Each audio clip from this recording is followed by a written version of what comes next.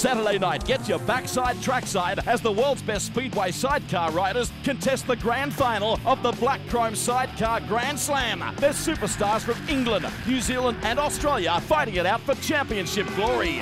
Aussie champ Darren Treloar, former world champ Nick Headland, British champion Mark Cosser, and Oceania title holder Mark Plaisted headline an all-star cast. 7.30pm, Saturday night, March 22, and it's on at Gillman Speedway Stadium.